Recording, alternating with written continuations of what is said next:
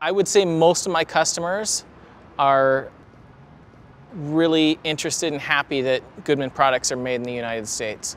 And, you know, I, I ask them if that's important to them, and just about all of them say yes. Well, the happiest day of my life was when moved to Mexico because I tell that story at every presentation and I don't say anything bad. I just said that's where they moved, you know, and Made in the USA is still a very popular, popular thing.